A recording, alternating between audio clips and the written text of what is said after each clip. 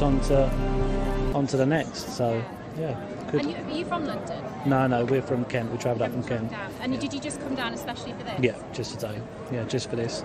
She was, um, yeah, she wanted us to bring her up, so yeah, it was all all down to her. Oh, well, well done, Dolly. So thank Do you. Yeah. Doing the Queen proud. Thank Hello. you. Hello. Hello. What's your name? My name's Jess, and this is my friend Liv. Hello. Hello. Where have you come down from today? I'm from South East London. I'm from Essex. Essex. And why did you want to come down today? Oh, we've got to be part of history, haven't we? And as friends as well. We Yeah. thought we could come down this year and, and, and now, and then in 30 years' time come back when it could be another big occasion with our children. It's part of history, we've got to be part of it. So, And it's kind of strange because we'll probably never see another Queen, will we? no, so that's why it was important yeah, as well, it's wasn't really it? important to us to pay our respect and do it for our grannies, grandparents, and everything. So Yeah, my nan. I lost my nan last year, and she would have loved this, so I had to come down for her. And a lot of people have said the Queen reminded them of their mum or their granny, that generation, that lovely wartime generation. I know. My Nennis, we called her my grandma, and she's got a picture with the Queen, and it used to be front of stage in the house. She loved the Queen, so to be able to come down with some flowers, Flowers, today yeah. and pay our respects is yeah so important. And where's that photo now? Oh, I think my sister's got it actually. My sister's got it up somewhere. It is somewhere. It's not in my house, unfortunately. It must be at her daughter's, my my dad's sister. And are you hoping maybe to see King Charles today? Or... Absolutely. He's here, isn't he? Yeah. I feel like we're just like really excited just to see like another monarch as well. It's a really sad occasion, but it's also really lovely for us to experience a king. Like we've never really experienced that, so it would be really nice. And not many people have experienced a coronation. No, not no, many not at all. It's, new to most of us, isn't it? Absolutely, absolutely. So- And yeah, we just want to be part of it, and I feel like that's the most what we're here for. We've got, got to make the most of it and pay our respect. She she done us proud for the, my whole life, your whole life, Exactly. everyone's whole life pretty much. So yeah, it's really it's really nice. We're already planning as well, aren't we? Monday, we're going to come down for the funeral. We think, yeah, oh, Yeah, well, yeah, we've got to. We've got to be part of it. Come down nice and early. We've got to get out, try and get our spots, haven't we? Down this way. Exactly. down early. Thank you so Yeah. much. It was lovely to meet you. Lovely Thank to meet you. you too. And you can tell, Jane, how much the Queen meant to every generation here. You've got people, you know, that are just five years old. You've got people in their 70s, even 80s coming down. And the Queen and the royal family mean something different to a lot of them. But what a lot of people have been telling me is that she symbolised that unity and also stability. And some people saying they felt quite unnerved when they heard that Queen Elizabeth had died, but now they really, really want to welcome King Charles to this role while he's mourning as well. He's mourning his mother, and they want to make him feel incredibly welcome. Charlotte, super. Thank you so much. We'll have more from you a little bit later. Charlotte Gallagher there at Buckingham Palace. A real, really fantastic flavour of. Jane, Jane, I think we'd better go home and just Yeah. leave the people outside Buckingham does. Palace to put it all into words. It's so moving. It does And feel so like that, wise. doesn't it? It's so lovely. It's so it, yes, and children, as ever, often come out with the with, with the best the best observations as well. Uh, we will have much more from there, of course. So the coffin, the Queen's coffin, still there on uh, in the cortege uh, through Perth, um, around about 35 miles to go, I believe. I'm just told to Edinburgh, um, a little bit further to go. Uh, we're reflecting on its journey throughout. We've been talking about the number of people who've come out, who've lined very many parts of the. Of the route. Um, let's just return to a scene we saw just a little bit earlier in the day. Uh, not something we quite spotted at the time, but tractors in Aberdeenshire is as much as I can tell you. But it was a, they formed their own guard of honour. Let's just see this for the first time.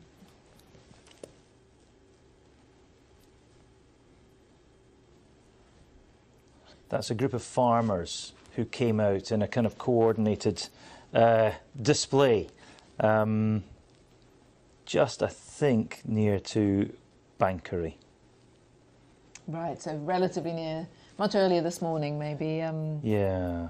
Something we didn't quite spot at the time, but that's somebody's rather been, lovely. Somebody's been in touch with me about that actually. Hats off to the Aberdeenshire farmers for this show of respect as the Queen's funeral cortege passed from Balmoral to Aberdeen. These images are between Banchory and Aberdeen City, an area of Scotland that she and her family loved so dearly. Well done to every farmer. Yeah, yeah. Oh, lovely. Lovely and an unusual sight, but again, quite touching that they coordinated that, Mm. as you say, and, and lined up. Um, And, and, and Princess Anne, of course, is in this car we're looking at. Yes, She's indeed, with experiencing her husband. it Yes, Um, with her husband, Commander Tim Laurence. she will have seen that, as she will see the crowds that have turned out, and is yet to see what looks like a considerable, very, very substantial crowds uh, lining many of the streets in Edinburgh. That is yet to come. And Edinburgh preparing for its key role in all of this because once the cortege arrives, as we've been saying, that was due at four o'clock. We think it's running a little bit late, but once the cortege arrives, uh, there is much more ceremony besides in Edinburgh, in Scotland's capital, and that, as we've been saying, is the first place, the first part of the UK where members of the public will be able to pay their respects at a period of lying at rest. So, Edinburgh preparing for all of that and its role. Judith Moritz is in the city and has been talking to people getting ready for those events. The Queen loved Balmoral above everywhere else. And so, as she left her summer home for the last time, a nod to that affection. The wreath atop the coffin, created from some of her favourite flowers from the estate. The cortege is now making its way along a 175 mile route through the villages, towns, and cities of eastern Scotland and her subjects came out to see. Here in Ballater, the community closest to Balmoral, where the Queen was considered a local by many. The coffin is being driven to Edinburgh, and the city stands ready.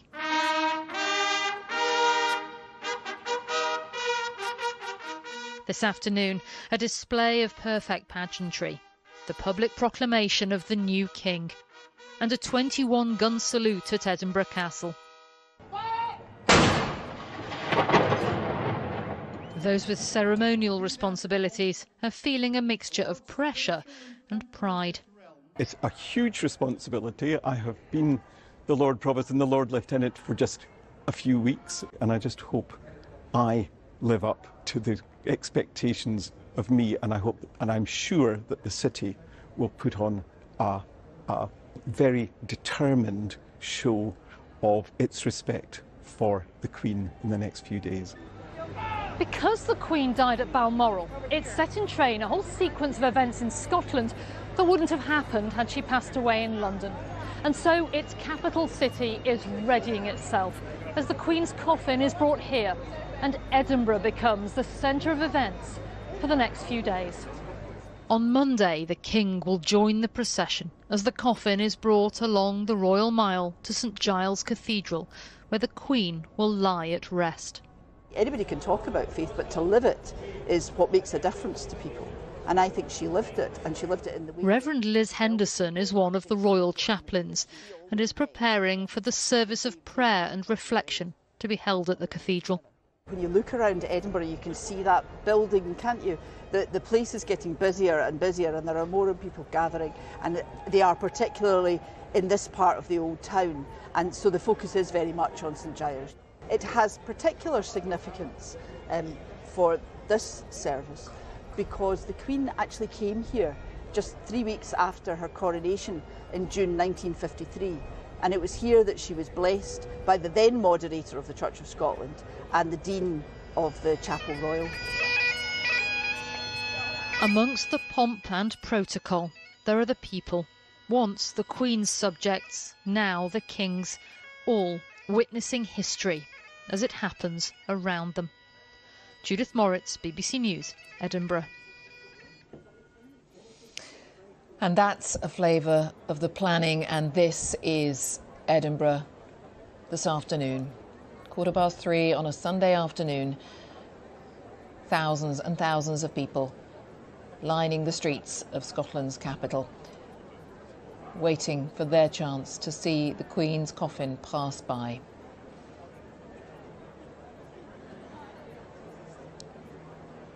We are keeping an eye on all of that, and uh, as I say, was due to arrive at about four o'clock in Edinburgh, but we're told that's still running a little late. But the crowds have been there for many, many hours. Our correspondent's telling us that a lot of people started queuing really quite early this morning, so a little longer wait for them. I don't think people are going to mind. Those are just some of the scenes that we can bring you this afternoon from Edinburgh as the Queen makes her final journey from Balmoral to Edinburgh, where she will rest for 24 hours or so, and members of the public will be able to queue and pay their respects. As we stay with these images from the helicopter, let's talk as well to. I apologise. I will explain in a moment who I'm going to talk to because we're just going to revert. We're just going to pivot to back to the capital here we are at Buckingham Palace, back there again. Um, we've been talking a lot, haven't we, and heard some lovely, lovely stories and uh, thoughts and memories and anecdotes from members of the public who have been out there outside the railings of the palace. And we've heard a lot of cheering as the new King Charles was driven into the palace a little earlier. And I think that uh, what we're seeing right now, apologies, slightly blurry shot, but you'll appreciate very busy day with an awful lot of cameras and radio signals around. Um, this, I believe, is the Queen consort just leaving the palace. She went in um, an hour or two ago. I slightly lose track of time now, but uh, there were big cheers certainly as she was driven slowly into the palace and now um, off to other areas. Uh, the new king, of course, we know, has a very busy afternoon of lots of meetings uh, with particular reference to the Commonwealth. He's got a lot of meetings with high commissioners, uh, with the Secretary General of the Commonwealth, and he has a number of uh, meetings with religious leaders as well. So uh, King Charles very much working away there this Sunday afternoon inside Buckingham Palace. Uh, we'll stay, I think, with this shot for a while. We were just going to get the thoughts of my colleague, our security correspondent Frank Gardner, because Frank, you met the Queen on quite a few occasions, actually, including being presented with your OBE by the Queen. Yeah, that's right. I mean, absolute honour. Uh, before I talk about that, I should just mention I think uh, Tim Laurence, Princess Anne's husband, was referred to earlier as a commander. He's actually a vice admiral, a three star, which is two ranks above that. Oh, goodness. We um, don't want to demote anyone. We certainly don't. No. I don't think he deserves it. Um, the the thing that really has struck me over the years, um, in the many occasions I've been lucky enough to meet the Queen, was um, the extraordinary attention she pays to what people are saying. She's not going, she didn't go through the motions. She was genuinely interested in what people had to say. She'd look you in the eye, she'd, she'd pause, she'd listen, she'd respond.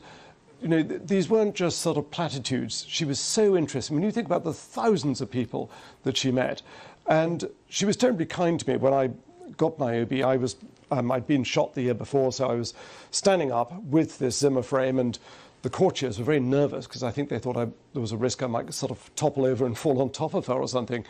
And um, she inquired about the nature of my injuries, and she said, "How very gallant of you to stand up," you know, which is really, really lovely. And some years later, um, at a charity event which I was uh, uh, involved in, she was a patron of Motability operations. And um, I mentioned to her that she gave me my OBE exactly 50 years after she gave my grandfather his OBE for mine was for services to journalism, his was for services to forestry. But I said, think of that, 50 years apart, same sovereign. And she said, Ha, tell me about it, which I think is rather lovely. And just in case anybody thinks that this is sort of a case of lèse majesté, the palace cleared this, this anecdote and others. Um, and another one, which I thought was terribly touching, um, we were discussing the Middle East, and she loved um, meeting royals and others from the Middle East, and she said, I, she was referring to the previous Sultan of Oman. At the time, Sultan Qaboos was on the throne. But she said, I rather like the previous Sultan, but perhaps he just grew out of touch with his people and got deposed by his son perhaps it'll happen to me. so, you know, she had that wonderful twinkle in her eye. You know, she could be serious when she needed to be and humorous when she wanted to be. She always got the occasion right in that sense. But actually, talking about eyes, um, she was Colonel in Chief of the Royal Green Jackets, which I was a, a serving officer as a territorial. And that was, they were disbanded, well, not disbanded, they were merged into the Rifles in 2007. So there was a kind of cocktail party at St James's Palace to mark this occasion. And she attended. She had something terribly wrong with her eye. Um, it was some kind of infection or whatever, but her absolute lack of vanity made her turn up. Um, I mean, she was clearly in some discomfort from this, mm. um, but she wanted to be there. Um, she, you know, she was a fantastic colonel in chief. She handed over uh, to her husband. So Prince Philip, Duke of Edinburgh, was then colonel in chief of the Rifles, uh, and currently it has been Camilla, now the Queen Consort. Um, so whether that will I mean, she's, I suspect, going to be very busy, busier yes. than she has been. Um, but she has been a wonderful colonel in chief as was the Queen. And I just thought that was, you know, a vainer person would have said, I can't go out looking like looking this. Looking like this, yes. And yes. she obviously decided this was her duty. It was this overriding sense of duty that she had. It's lovely that you talk about the humour because we've touched on that a little today, but but perhaps obviously under under the circumstances today, not not as much as we as we might wish or like or would be appropriate. But that that that glint was there, uh, and and and we forget that, that that, it was the, the, as you say, it was the right approach at the right time, and then yes, the number of people she would have had to meet, and yet she i suppose it's the, the best politicians they say have that as well that ability to make you feel as if you are the only person in the room that, at that moment and they are completely focused on that conversation with you. So that's what i'm sensing from you is that that's what the experience that's what the conversation was like. Yes i mean i'm lucky enough to have met her seven times and each time the scariest thing about it the only scary thing is all the sort of protocol around it the people around it. When you actually cut through and meet her face to face she immediately put you at ease. Um, you know because she was so natural. Um, whereas there's natural. Um, whereas there's an awful lot of pomp and ceremony and protocol, and you know, um, you, you do you do do this, you don't do that. But once you meet her, all of that melts away. So lovely to uh, to hear those anecdotes, Frank. Thank you very much uh, for now, uh, Frank Gardner. Thank you very much. Uh, we are just going to take a minute, as we promised much earlier in the day. We would just reflect the Queen's love of racing. Uh, hugely knowledgeable about racing, of course, wasn't she? Uh, we're just going to talk a little about the St Leger. It's the final classic of horse racing's flat season. It's due to begin in Doncaster. Uh, the Queen, well, almost doesn't need saying, does it? It is well documented her love and knowledge in this uh, field. Uh, let's head there and join um, our correspondent Matt Graveling, who is there at the winners' enclosure, in fact, at Doncaster Racecourse, where I imagine, Matt, the Queen is very much in people's thoughts. Oh, of course, Jane. In everybody's thought today, in the St. Leger is going to be happening in around half an hour's time. But today really is a day where everybody connected with the Queen's most beloved sport of horse racing has come together. Of course, it was halted on Thursday when we heard about Her Majesty's poor health, but it is back today. There's racing, there's a seven card race down in Chepstow, and here in Doncaster, well, flags are flying at half mast and there are books of remembrance for people to sign inside of the building and the jockeys are all wearing black armbands in their races as well. And I can tell you that at earlier around 12.15 in the afternoon here at the winners enclosure, the staff and the jockeys, they all stood in a line and they first watched a three minute video of the Queen's history with horses. But then after that, they took two minutes to think of their own memories of the Queen. They paid their respect, heads were bowed, and then following that, the jockeys and the staff, along with 10,000 people who are here today, they all sung the national anthem with, of course, those new words of God Save the King.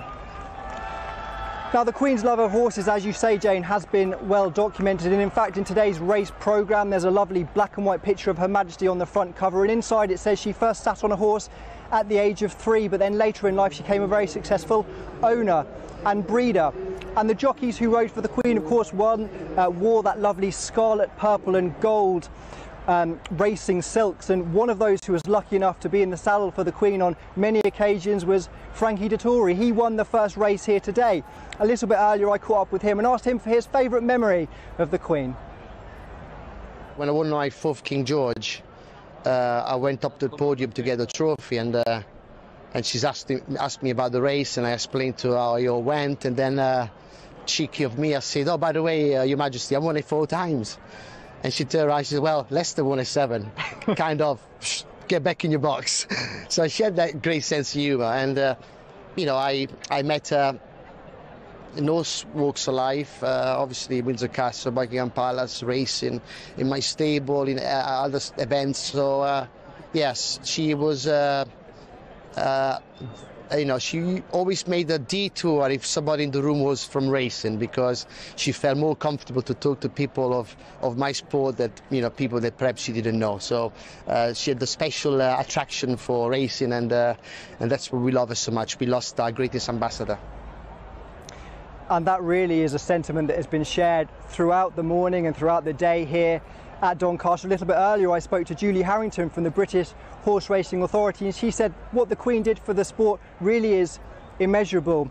Now, of course, the Queen's most famous one win came in 2013 at the Gold Cup with her horse Estimate, but perhaps it's slightly fitting that racing returns here at Doncaster today and the St Leger will be taking place in about 25 minutes because of course that is a race the Queen won herself with her horse Dunfermline in 1977 and that of course was her Jubilee year as well. So a fantastic atmosphere here today and you know what else as well Jane, final thought for you.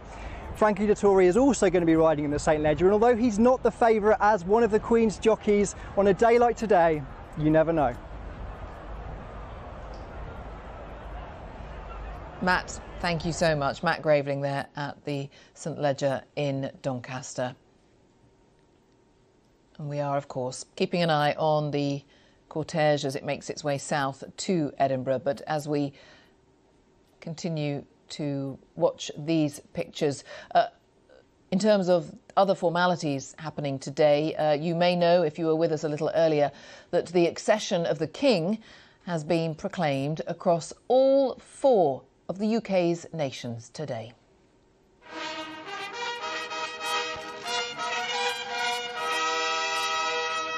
To call to his mercy our late sovereign Lady Queen Elizabeth II, of blessed and glorious memory, by whose decease the crown of the United Kingdom of Great Britain and Northern Ireland is solely and rightfully come to the Prince Charles Philip Arthur George.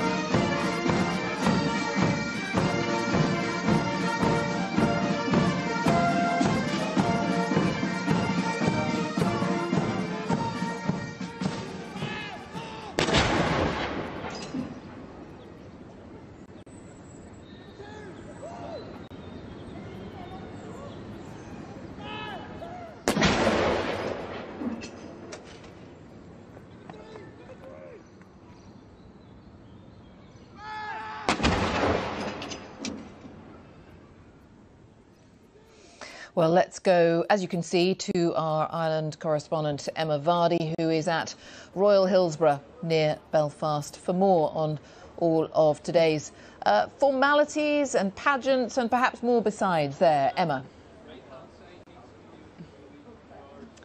Well, as Northern Ireland's royal accession proclamation took place earlier today, there was a parade uh, by, with soldiers of the Royal Irish Regiment and the band of the Royal Irish Regiment were here too. And also members of the public have been braving some pretty heavy rain to be here too. They're still coming in this afternoon to lay flowers and that carpet of flowers at the gates of Hillsborough behind me has just been growing really over the last few days. Um, of course, political leaders have been attending the events too, although there was an announcement today from Sinn Féin and from the SDLP, the, two biggest nationalist parties here in Northern Ireland, that they wouldn't be attending the proclamation today. And that really comes down to the basic politics of Northern Ireland, really, and that nationalist parties here, of course, don't see uh, the royal family as their monarchy. Their aspirations are for uh, Northern Ireland to become part of a united Ireland with the Republic of Ireland in future. But of course, they also respect and um, appreciate the role that the Queen herself played in reconciliation and in relationship building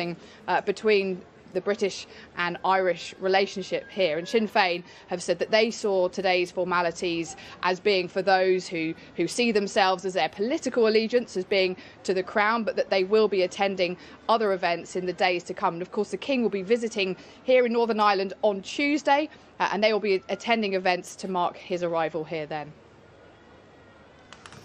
Emma, thank you very much. Emma Vardy, our Ireland correspondent, and our security correspondent, Frank Gardner, is still with me here in the studio. Um, I should say, talking to you, Frank, not really in that role as, your, your as a correspondent, but simply because you have met the Queen on quite a few occasions. And some of that is because of your military connections and and and I was just interested because earlier you mentioned that you know that the role of the monarchy is, is so important and, and some people watching might think that it's uh, just ceremonial, if you like, the, the, the various roles they have within Britain's military. I mean, explain from your perspective what, how important that role was, what, what, what the Queen brought to that.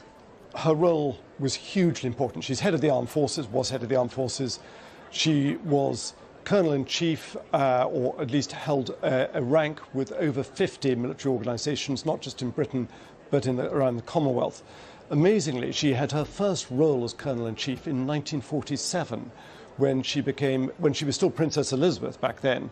She became Colonel in Chief of the Balaclava Company of the Royal Regiment of Scotland, or its equivalent back then. Um, she was Colonel in Chief of the Royal Green Jackets, which I was a serving member of uh, before it was amalgamated into the Rifles. And I remember being told on one of my very early mess evenings, like these mess dinners, um, we don't do the loyal toast. And I say, oh, really? Why not? Because our loyalty to the Queen is never in doubt. Now, that was actually a lot of nonsense because I attended plenty of loyal toasts, um, but it was a nice idea. Um, and of course, she was a superb horsewoman. You would see yes. her a trooping, trooping the colour. Uh, she would attend things like Sovereign's Parade, but you know when she was on horseback, she was completely at ease. She rode a lot, and there was famously that picture of her riding in the grounds of Windsor Castle, I think it was, with Ronald, President Ronald Reagan. Um, yes. Totally at ease, passionate about horses. Yes. Um, but her connections to the military were hugely valued by the military, and that's passed on, it's extended to other members of the family. So the military patronages are very important. They present colours. And in more recent years, when men and women have come back from operations in places like Iraq and Afghanistan, in some cases, young men and women uh, hardly into their 20s with broken bodies, having suffered terrible life changing, catastrophic injuries. The, the comfort that the Queen and other members of the royal family, and as I mentioned, Camilla, the, the, the Queen consort, has been Colonel in Chief of the Rifles. This is, this is enormously comforting to people to know that somebody as high up in a, such an exalted position in British society actually cares about them and wants to know about them and how they're getting on and what sort of what kind of pastoral care they're getting. These things really matter to people, so it's valued. Very, very interesting. Thank you so much. Uh, good to see you, Frank Gardner, with your uh, many recollections of meeting the Queen, in fact. Uh, we are going to return right now to Edinburgh because that, as we say, is where the cortege is headed. Uh, and uh, we've seen the crowds, haven't we, build and build on the Royal Mile. Let's cross over there now and join our Scotland correspondent, Alexandra Mackenzie, uh, who I think, oh, near, near St Giles Cathedral, clearly. Um, Alexandra, hello. Hello, yes, just outside, um, yes, St Giles Cathedral here. And Edinburgh has been very much a focal point since Thursday night, but even more so today. The crowds have been gathering here all day with many people just wanting to come and catch a glimpse of the hearse as it passes through here, as you said, yes, the end of its journey, which began much earlier this morning on Royal Deeside and then came through Aberdeen, Dundee, and will finally end up here on the Royal Mile, where people are packed into the streets, all the way from the top of the Royal Mile up at the castle, all the way down here past St Giles Cathedral, and then eventually down to the Palace of Holyrood House. Now, the coffin will come through in the in the hearse. It will come over the new Queensferry Crossing, which was opened by the Queen a few uh, years ago, and then will come into Edinburgh and skirt round the castle at the top of the mile, and then will come down the Royal Mile to be seen by all the people waiting here. Some of them have been here uh, for hours, have been here for much of the day, and down past St Giles, where the service will be tomorrow, and then down to the Palace of Holyrood House, where the coffin will lie overnight. Before tomorrow, uh, there will be a procession tomorrow, joined by members of the royal family. The procession will come back up the Royal Mile to St Giles Cathedral, where they are preparing there for that service tomorrow, and then there will be a vigil in the evening with members of the royal family. And the coffin will lay there at rest for 24 hours so that members of the public can come and pay their respects to the late Queen. And many people here, and that's all they've known, they've just known one monarch, uh, Queen Elizabeth, um, for the 70 years that she was on the throne. And this wasn't the, the only thing happening here in Edinburgh earlier today. There were two proclamations, one announcing the new king, King Charles III, to the people of Scotland. That took place at the Market Cross, which is just at the other side of St Giles. And people gathered here for that. There was a procession down from the castle that was attended by many dignitaries and politicians, Nicola Sturgeon and leaders of other political parties. And then there was a second proclamation that was up at Edinburgh Castle, and that was to announce the new king to the people of Edinburgh. And people have been coming to Edinburgh um, since Thursday night. Um, Holyrood Palace, that has been a focal point up till now. Many people coming to lay flowers, tributes, candles, messages, some just saying a simple thank you.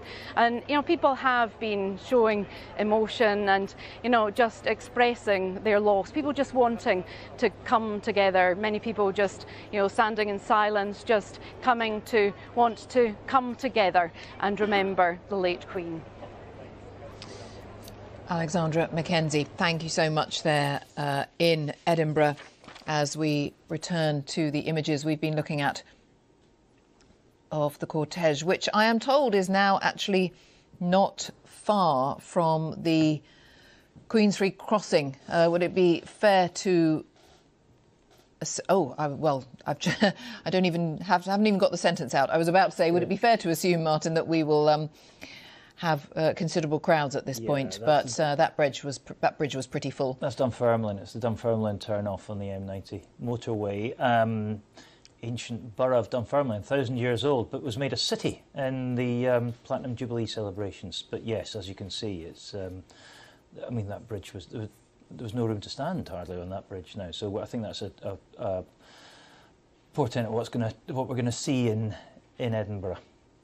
Um, these people obviously have uh, had a chance to watch what's been happening over the course of the day and plan their day, and perhaps people who didn't necessarily know the route or know this was happening have uh, changed plans are coming out. That's that's Rosyth. If the picture sharpens up, that's the town of Rosyth, and in the distance you can see the naval dockyard of Rosyth, where the Queen uh, named the, um, the, Britain's biggest battleship and, and, named in her honour, the HMS Queen Elizabeth. Um, I think she named it quite a while back, actually, but it was uh, it was launched into service into well, it, was, it, began service in 2020. It's the biggest, it's the flagship of the naval fleet. And there you can see, if the picture sharpens up again, the three Forth bridges. The, the rail bridge on the left, the darker bridge. Uh, and in the middle, the old Forth Road Bridge, which is still in use for kind of buses and public transport. But the Queen opened that in 1964. And on the right, the bridge that she's about to cross, the Queensferry Crossing, which she opened in 2017. A really elegant and dramatic piece of uh, engineering. It's very, be- very beautiful, isn't it? It's an, only 2017. It's not, yeah, it's still 2017. Not yeah. that long. And periodically, as you see, the cameras um, switch back as well to the various vantage points that we have in Edinburgh because uh, we talk about the Royal Mile a lot. It's, it's very famous. It's a well-known in terms of tourism as well. Uh, but there are many, many other streets, not just the Royal Mile that we are focused on, and there's many streets that are really filling up, have been filling up over the course of the day, and uh, a huge turnout clearly there in Edinburgh. As I say, I'm afraid we don't have any official estimates. We don't have anything from the authorities as to as to the numbers they think are out on the streets yet. But Edinburgh's part in this is huge, uh, as we've been reflecting. There's been a lot of preparation, a lot of build-up and Edinburgh will be the first place in the UK that members of the public are able to pay their very last respects as the Queen will lie at rest for a period. And Robert Lacey, you've been watching all of this throughout the day with us, and uh, you, you were explaining earlier that the the, the notion that lying in state has, hasn't always happened. It's um, relatively new in, in historical terms. Yes, the, the, the first, um, as I was saying, the first lying estate we, we, we know of on a major scale was for, for Gladstone, the Prime Minister, um, and uh, at the end of Queen Victoria's reign. And uh, George V, who was the Queen's um, grandfather, uh, when, when he saw this event, um, he thought it would be a wonderful way to honour his own father um, Edward VII, the great grandfather of the Queen. And so that's when the institution started. And um, the lying in state was originally just um, f- for a day or so. Now, um, for Elizabeth II, um, is going to be, um, uh, what is it? A day, 24 hours I in believe Scotland, it's 24 and hours, yes. four days in Four days in London. In London, I mean, I, I was reflecting on, on that um, wonderful sequence we saw about her love of racing. Um, I, I, I, think uh, you know, one, one, of the secrets of her, her success and her meaning to people was that while her job was grand, she was not grand. Um, she, I mean, it's a cliche to talk about the, the, the, the common touch, but uh, she just had populist instincts in her. Um, and as we've said so many times, she, was a player who understood she was in a system. There, look, we're looking. Uh, the, the, the, she was in a system that's that's more important than, than any one individual, and she worked so hard to to make the royal family operate as a team, and at, as we were saying earlier too, um, King Charles is clearly taking steps to imitate her very much in talking to William about. Um, uh, the need for him to get together with Harry, as we saw yesterday. And uh, um, that's clearly um, King Charles hard at work, following in the traditions of his mother. And he will have had a long, he has had a long time to think about what sort of monarch he wants to be, whether there will be a slightly different tone, whether it will be a more slimmed down monarchy. Mm. Um, some suggestions, even in the last 48 hours, that other historians, royal watchers, making the point that they wonder whether this will be a slightly more emotional monarchy, and they mean that in a good way. Mm. The fact that he he and his wife very very early on, after the news was still very fresh, really that the Queen had died, uh, was was greeting people at Buckingham Palace, showing interest, saying thank you for coming, thank you for laying flowers. Whether that was him instantly wanting to lay down a marker and say this is the, the sort of king I want to be. Mm. Well, in view of the huge popularity of William and Catherine, um, there'd been a sort of tendency to say, well, Charles and Camilla, they'll be caretaker monarchs. Um, and maybe I myself was one who thought, well, they're interim for the real top of the pops. But in fact, in these last few days, we've seen extraordinary um, upwellings of, of sympathy and, and but also support and encouragement for Charles and Camilla. I mean, the polls are not out yet, but um, I think that that's a natural reaction to the situation. But the way in which King Charles has already um, reached out to people with two walkabouts, um, he's taken this private initiative to try and get his sons back together closer, certainly in public. Um, yes. These all show an activist king. Um, yes, he's had a long time to think about it, but he's jumped straight in, actually. And um, I think, you know, I, don't, I think it's fair enough to speculate the coronation is going to come much quicker than it did last time when we had to wait 18 months. Um, oh, that's interesting. You think it will because we, there's no, there's been no discussion of dates or anything. Quite rightly, Well, it's, uh, but but um, I, I, I think maybe I, maybe some of us assumed that it would take a long time simply because. Well, that's it took a long last time, in the old, it took the constitu- the coronation took a long time in 1952 to three, nearly 18 months, because they hadn't quite worked out the, the significance of television, and they had to convert the abbey from a church holding 2,000 to a sort of mini football stadium holding 8,000, because of the idea of the Queen being crowned in the sight of all the people. That was an enormous physical undertaking, which won't be necessary this time. And uh, there is this royal tradition, something also started by um, King Edward VII, the sort of populist king at the beginning of the 20th century, that royal events should take place in the summer. He was the first king who celebrated a winter birthday in the summer because it's better and more fun for everybody to celebrate in the summer. So I don't imagine we'll have a coronation this winter, but certainly um, I would have thought um, that uh, next summer is the latest one can expect for um, a coronation. But obviously, the, the feelings associated with the, the, loss of the Queen and her funeral have to be played through thoroughly before um, that can happen. Of course, oh, absolutely, and um, yes, apologies, slightly, uh, slightly running before we can walk in one sense, but it is uh, there is so much to, to, to cover and and so much to discuss. Uh, but our focus, I, we must keep pulling it back to this. Our focus is very much today on the cortege, the movement of the Queen's coffin from Balmoral down to Edinburgh. Apologies, just uh, occasionally losing the line there. But uh, the Queensferry crossing. And again, Martin, your thoughts about the, sort of numbers of people that we are seeing and what we're what we're witnessing here. Well, we're looking at the Dean Bridge in Edinburgh now, the end of Queensferry Street, and um, just people who know Edinburgh will know the west end of Princes Street, that part of town, the new town of Edinburgh. Uh, that's where that is. This is actually further down Queensferry Street, but we're, we're look, they're certainly at the Dean Bridge. It looked like the numbers were, were you know, they, they were very deep uh, on the pavements. And as we we saw from the aerial shots earlier on, when the convoy passed just over the Queensferry crossing, past the town of Queensferry itself, there was a bridge there and some embankments on the side of the motorway, and was just packed with people, packed with people. Um, so yeah, we, we shall see. They're they're just about to head down towards Cramond. People who know Central Scotland will know that area, um, and they'll be in town in about another mile or so, on the edge of town. They'll be in Right. urban urban built-up Edinburgh, maybe a couple, two miles from here, say. Um, so yeah, w- we shall see. But everything that we've seen so far suggests this could be something quite spectacular.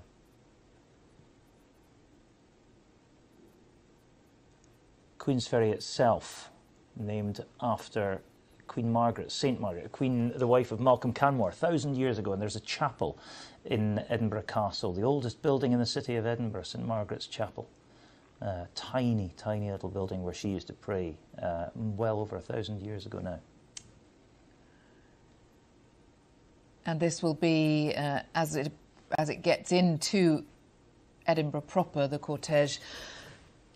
I feel as if this this is going to be quite a moment. Actually, the first time we will see that coffin travel through a, a much much more densely populated area, a much more uh, tight knit, um, tightly packed geographically area. I mean, um, and again, it's the when you catch that glimpse of exactly what we're looking at there, you look at the vehicle, you think that that is the Queen, that is the late Queen, and that is poignant and sobering.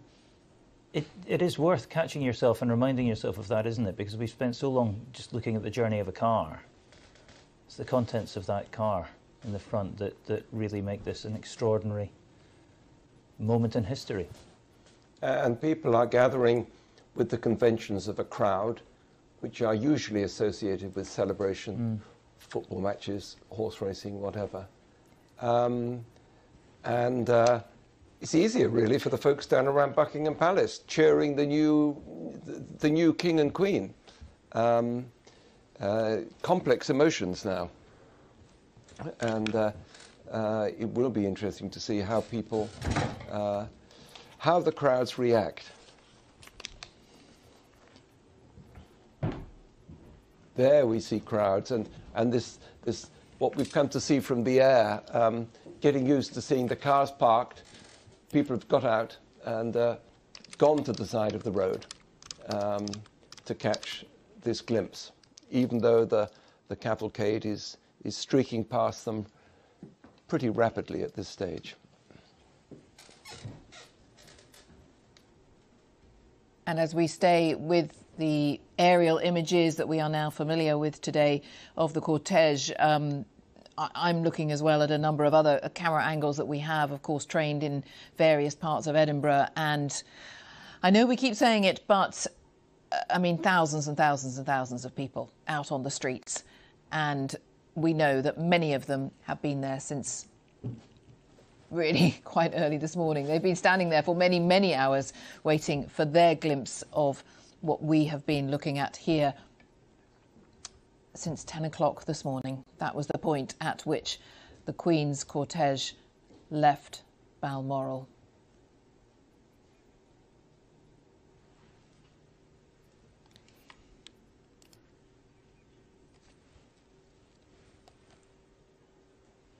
Well, we'll stay with these pictures. Let's just try to give you a sense of uh, what we're witnessing here and and uh, what is to come in the next few minutes and hours. This is the cortege taking the Queen to her resting place for tonight at Holyrood House in Edinburgh.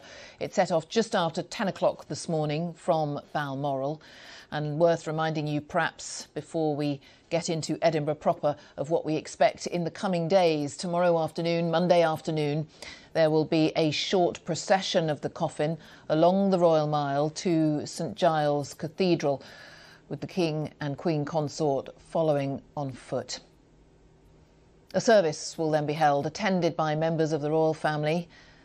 The Queen will remain at St Giles for a short period of lying in rest, and then in the evening there will be a vigil. Later, the Queen's coffin will be taken to Edinburgh Airport. That will happen on uh, Tuesday tea time. Her body will be flown to London and she'll be accompanied by her daughter, by the Princess Royal, Princess Anne. And it will arrive at Buckingham Palace in the evening, witnessed by the new King, by King Charles and the Queen Consort. Then on Wednesday afternoon, the Queen's coffin will be adorned with the crown and a wreath of flowers, and it will travel on a gun carriage from Buckingham Palace to Westminster Hall.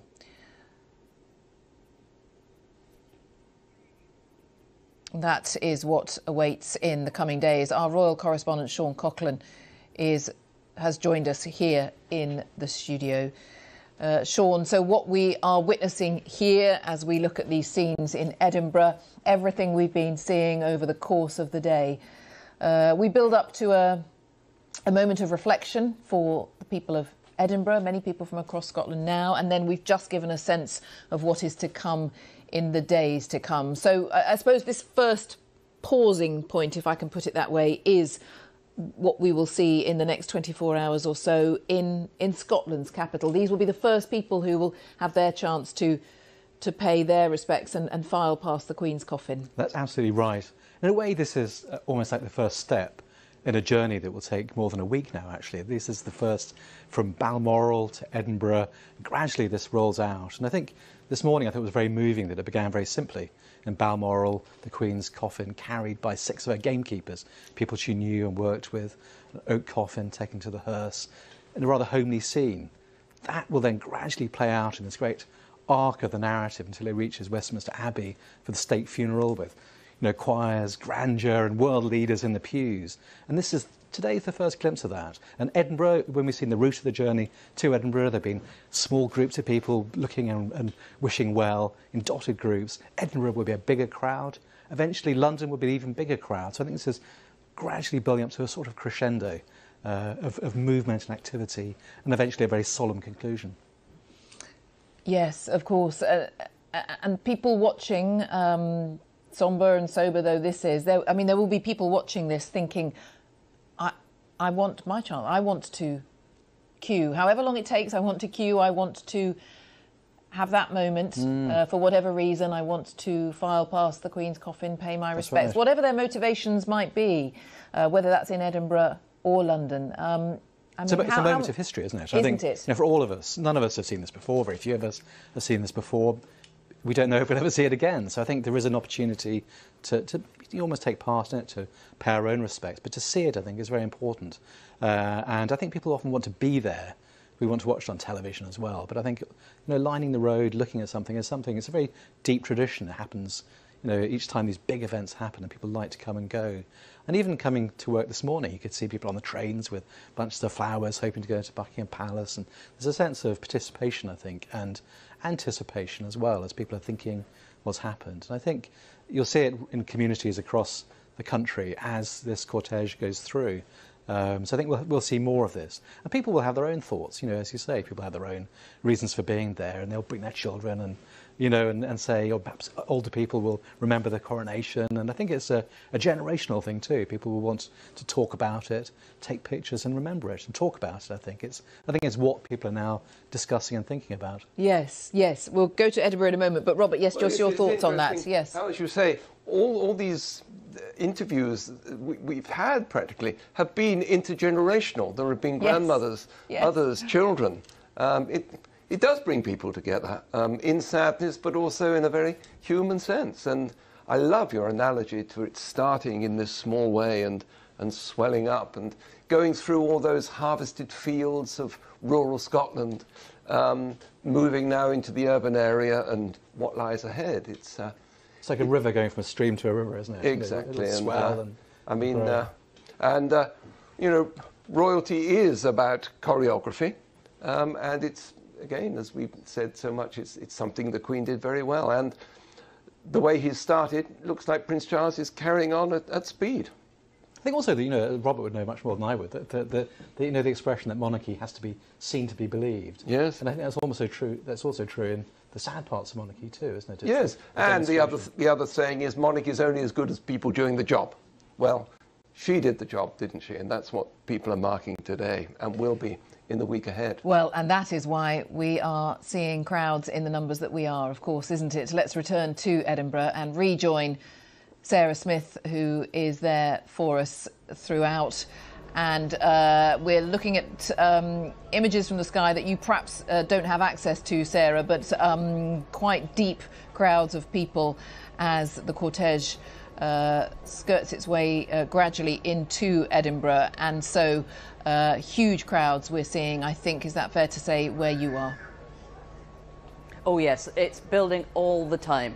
Huge numbers of people who are now lining the Royal Mile, as you saw a few minutes ago, and all around here, around Holyrood House Palace as well. And what's interesting is, although there's a real sense of anticipation building here, as they expect the cortege to come through and be able to catch a glimpse of it, is just how polite everybody is being. There are people here in such huge numbers, it would be easy to see some jostling and shoving as people try to get their best spot. But there's a real kind of family atmosphere here as you've got young babies, um, old people, dogs, you name it. Generations have come out and they're standing very patiently, very quietly, waiting for the cortege to arrive without any sense of selfishness, trying to grab their own spot. It's very, very friendly and it's very, very somber. People are, you know, standing, reflecting on what's happened as they wait to see the cortege. And it's very different from other occasions when you might see huge crowds like this. And looking at the numbers of people lining the Royal Mile there, it got me thinking about other times we've seen huge crowds come out like this, uh, particularly along the Royal Mile in Edinburgh. The last time I can remember seeing anything like this was when the Scottish Parliament was being opened for the first time in 1999. There weren't quite so many people there then, but the whole of the Royal Mile was lined with well wishes when they saw Queen Elizabeth driving in an open top vehicle up from Holyrood House all the way up the Royal Mile to the General Assembly building of the Church of Scotland to open the Scottish Parliament for the first time. That was, uh, that was people lining the streets of the Royal Mile in order to catch a glimpse of Queen Elizabeth. And uh, she came to Scotland very early in her reign. She made a real point of coming here just three weeks after the coronation in 1953. And again, her and her husband, the Duke of Edinburgh, drove through the streets of Edinburgh in an open top vehicle so that people could see them. People were lining the Royal Mile then in order to say hello to their new Queen in 1953, and they've come out in even greater numbers in order to say goodbye to Queen Elizabeth in Edinburgh. When she opened the Scottish Parliament uh, in 1999, the Queen spoke very deliberately about the people of Scotland and she said, the grit, determination and humour, the forthrightness and above all the strong sense of identity of the Scottish people are qualities which contribute so much to the life of the United Kingdom. It was her paying tribute to, well, as she said, the grit and determination of Scottish people and making clear she understood that this was a country within the United Kingdom with its own sense of identity and people of a distinct character. She knew them, she understood them, she cared deeply for Scotland, and that'll be one of the reasons that we are seeing just so many people coming out to catch a glimpse of the coffin as it's driving through the streets of Edinburgh and making its way here to the historic Old Town, right in the centre of Edinburgh, where the cortege will finish its journey at the Palace of Holyrood House, which was, of course, always the Queen's official residence whenever she was in Scotland. Sarah Smith, thank you very much for now. Uh, Sarah, uh, there um, keeping an eye as crowds build, continue to build there in Edinburgh as the cortege makes its way now into Scotland's capital. The BBC's royal correspondent Sean Coughlan is watching these pictures in the studio with me and still with us, the historian, royal historian and biographer Robert Lacey. And Robert, goodness, I, been, you and I have been following this journey all day from early this morning, and there was that deeply poignant moment when the gates of Balmoral opened and the cortege started to make its way out and we saw the coffin for the first time. I feel as if this now, the entry into Edinburgh, is similarly moving. I'm not even sure whether I can put my finger on why. Something about uh, the capital, the sheer number of people there, um, the fact that the Queen will rest here now for 24 hours or so as well. There's something um, very simple but sad and poignant about that as well. I feel just the same, actually. I was just about trying to work out, myself how to put it into words. Um, the first sight of her in the coffin was, of course, tremendously moving to everybody who saw it around the world on television. Then out on the road, um, we got sucked up by the, the, the, feelings of people along the way and, uh, and also our excursions back to London, where the mood is so different because it's looking to the future um, with, with, with King Charles. And now suddenly um, uh, we, we sense, don't we, that, um, that, that there's something emotional coming now, and our focus is entirely back on this woman. Why everybody around the world, but here particularly in Scotland, capital of Scotland, is, is, is so moved and wants to pay their particular tribute to, to what she's done and what she's meant to them. And again, it takes us back to much of what you and I talked about a lot over that long Platinum Jubilee weekend. Uh, the crowds we saw, the celebrations we saw, there will be, there were people you and I spoke to who might have had certain views on the monarchy, certainly might have want to see a, a more modernised monarchy, however you define that, but a but a, a slimmed down monarchy. Thought that there might be changes that could be made in 2022 to the institution, but that one theme that cut through Edinburgh every are gathering to mark now. Yes, and actually, Sean, ju- I mean, just picking up briefly on uh, Robert's Ireland point. I mean, you think of those images today of the Queen shaking hands with some of those politicians. right, she that's took- I right, mean, yes. Images that a few years previously you couldn't have imagined Mm. Witnessing, and of- that, and that's yes, exactly. to Robert's point. That's that's the the role that her that, that she played in that. And it carries a great deal of symbolic weight, and the Queen brought with her uh, a sort of dignity, and, and also her separation from the, the party political process allowed her to be above that. And I think it was, you know, she brought a lot of dignity to those relationships. I think it was a very, you know, profound thing. Um, I think, I think, you know, and I think that's part of the fact that often part of her the way she's held now is the fact we know so little about what she thinks about things. It's part of it. There, you know, the, the mystery of, of of, Yes. you know, behind the, the, the mask of duty. Um, we still don't know really, and I think that allowed many people to project many things on onto her. Uh, and I think that's part of. It's a very hard thing to do and to sustain that. And as you say, never to put a foot wrong, never to to, to you know to, to, to step away from that. And I think as it, as that- that's an achievement in itself. I think that, that people recognise. Wouldn't we love to know some of the things that No, were said in those no. political and also- conversations in particular? But but we won't. We won't. And also, I think it's the thing when you look at those pictures there, you have that great sense of of ordinary places seeing extraordinary things. You know, when you see back gardens and, and shops and front, you know, people going about, and, and then there's this cortege cortege going through. I think there's something about that that's very moving, just seeing that, that, that the sheer history going through your front door and people coming out to see it and they'll say they were there and remember it. And, and I think that's it- it's ordinariness as part of its extraordinariness, I think, you know, that, to see those scenes in those places. I wonder whether we have any sound from any of our cameras there as the cortege makes its way through Edinburgh. Whether we just get a sense of what the crowd is or isn't saying, doing.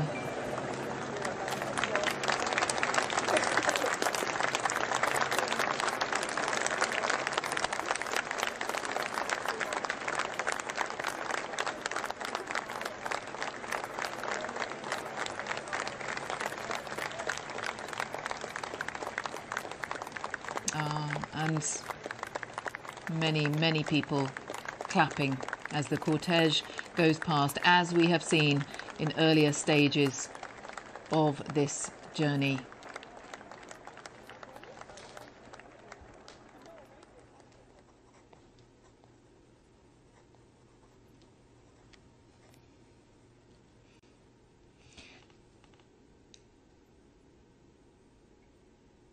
Beautiful aerial shots of Edinburgh. I think we will have other images of well as well of the Royal Mile. Very moving watching the cortege drive through those streets. People who'd been waiting for so so long just standing quietly, calmly, and then that lovely ripple of applause as the cortege passed them by as the Queen makes her final journey through her beloved Scotland. And the coffin will rest for 24 hours in St Giles Cathedral.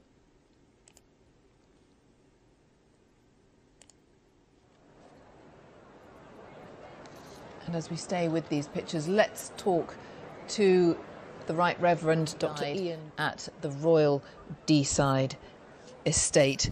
And thank you so much uh, for being with us here on the BBC as we stay with images from the city of Edinburgh. And tell us about your your final, as it turned out to be, conversation with Her Majesty. What's what did you discuss? Well, it was uh, exactly a week ago today, um, and we were just uh, discussing the service that had taken place at Crathie Church. We were doing that over dinner. Um, she was very lively and engaged in discussion. Uh, and um, she, when she was, when I was giving leave to uh, leave um, Balmoral, uh, I spoke to her for a few moments and I gave her a wooden cross that had been made by uh, prisoners in Glenochil prison. Uh, and she very gratefully received it from me and and wished me goodbye. Uh, I, I, find it very difficult to believe that that lady who was so uh, alive and uh, with it uh, a week ago is no longer with us. Because we had all seen her looking much more frail physically, but you are, well, you're clearly telling us that in every other way she was. Um, she was bright. She was she was engaged. She was was she the, the the person you had always known, the person you had always had these sort of conversations with. Well, I, I mean, I hadn't had any conversations with her up until then, uh, and I hadn't known what to expect. And uh, you're right, she was frail when she came into the room, uh, but that wasn't uh, the lady that I uh, was engaged in conversation with on Saturday or on Sunday. Uh, she was intelligent, she was with it, up to date. she had incredible memory for things, and I just find it very difficult to believe that that's her gone. And it is well documented the importance of her faith to her throughout her life. Uh, did you did you touch on that? Yes, we did, and uh, that was very evident in the conversations that we had. And we'll have the opportunity now uh, tomorrow of expressing our thanksgiving for her life in St Giles, and it's a very appropriate place uh, that that will take place in. And it's very appropriate that we'll be celebrating her life and her faith there.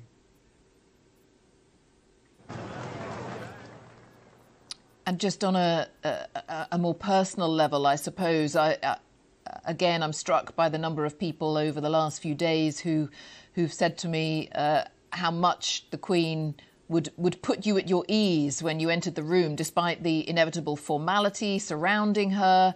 I think everyone has said once you are actually in her presence, she is, she was uh, we forget that she was uh, remarkably easy to talk to. Is it, it, would you say that was your experience? Absolutely. She was the queen. Yes, you knew that, uh, and uh, there was a certain respect for, for her, her, Majesty. But absolutely, uh, had you right at, at your ease from the get-go. She was quite a remarkable lady. Thank you so much for your remembrances and for your time here on BBC News. Thank you. That's Right Reverend Dr. Ian Greenshields, the moderator of the General Assembly of the Church of Scotland. And now let's turn, return to the centre of Edinburgh. Well, I don't even know how many deep those crowds are. Just people as far as the eye can see as this cortege makes its slow final procession through the streets of Edinburgh.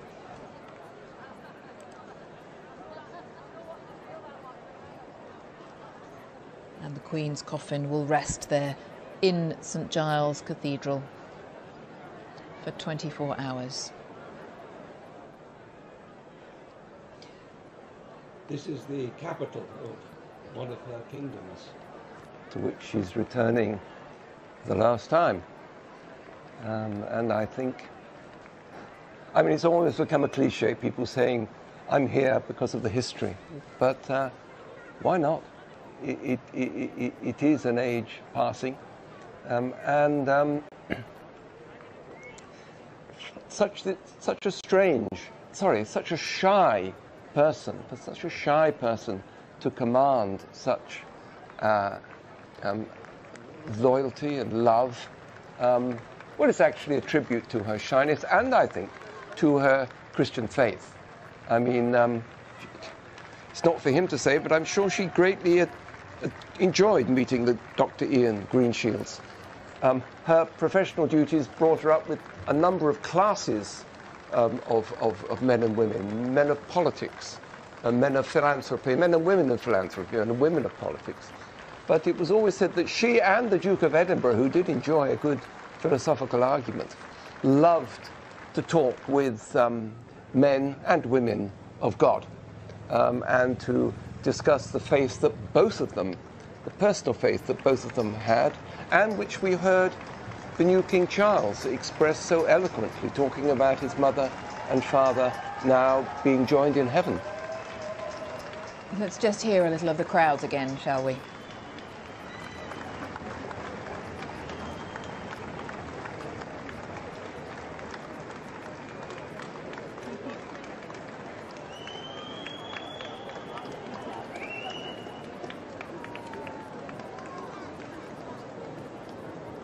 Again, plenty of clapping as this slow procession makes its way. Uh, apologies, uh, slightly jumping ahead of myself because, of course, the cortege uh, is taking the Queen to the Palace of Holyrood House. Uh, that will be its final destination this afternoon. Uh, but, of course, ultimately, the Queen will lay at rest at St Giles Cathedral, the cathedral we've mentioned many times today, and that is where people will be able to pay their respects. But at the moment, the cortege wending its way to the Palace of Holyrood House. That really was the Royal Mile today, wasn't it? The Royal Mile in every sense. It is, isn't it? Yes. I think it's also interesting when you watch that, that people are clapping very politely, but it's, uh, people will think, how do you respond to, to a funeral? People aren't going to cheer or shout, or, but there's a sort of ripple of polite applause. There is, isn't there? People Let's- to reflect on it. Let, let's hear a little more of that, I think.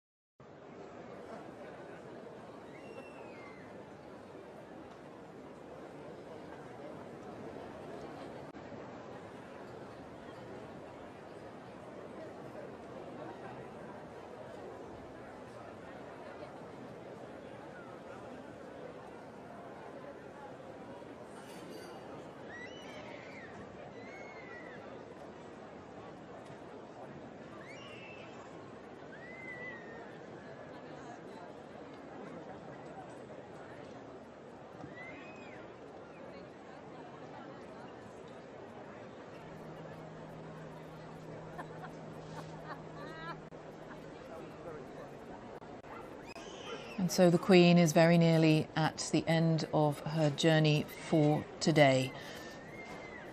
The hearse pulled up at the front of the Palace of Holyrood House in Edinburgh. And she will remain there overnight before the focus then tomorrow turns to St Giles Cathedral in the city.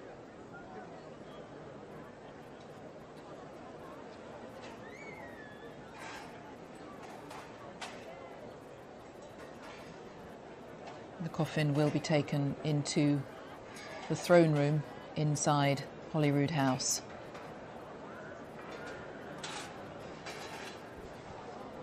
Which will be her resting place for tonight.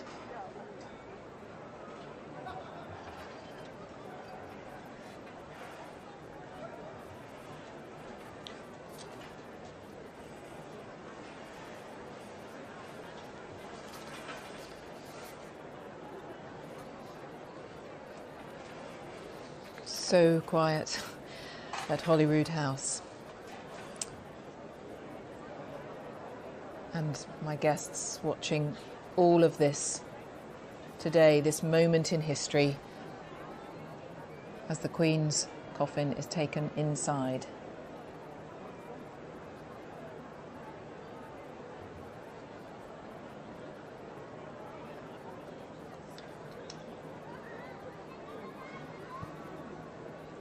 Princess Royal, Princess Anne.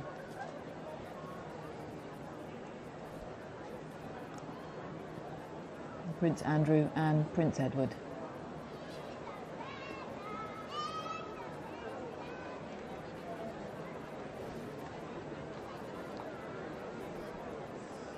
The Queen's children. So she now has three of her children with her, and Prince Charles will, sorry, King Charles will come tomorrow. Yes, the Princess Royal and her husband made that journey with the cortege, staying with her mother throughout that final journey from Balmoral to Edinburgh. And now the Queen's three children there inside the palace of Holyrood House, where the Queen will rest tonight.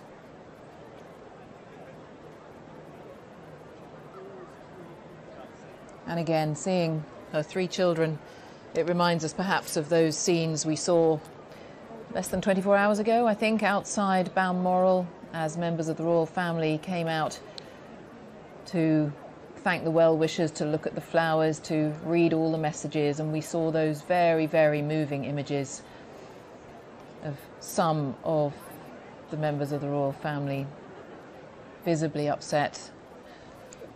They had lost a loved one.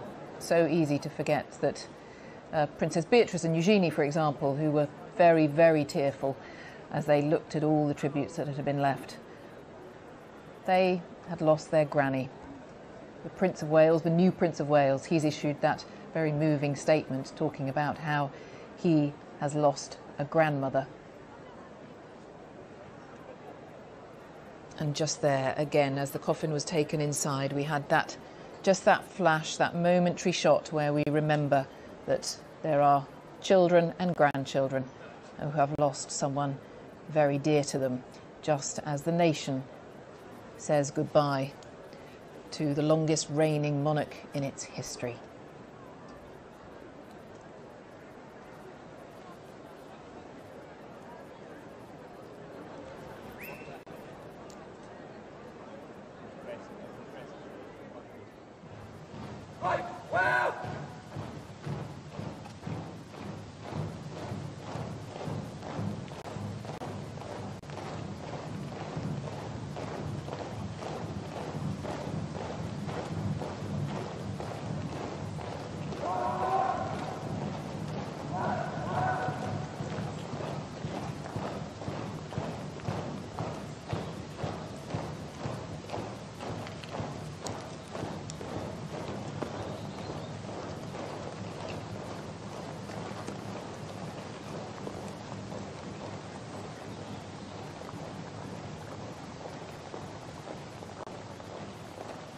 Robert Lacey, who's been with me here throughout the day. You have studied history, you write about royal history, but we have not seen these scenes before and we may not again.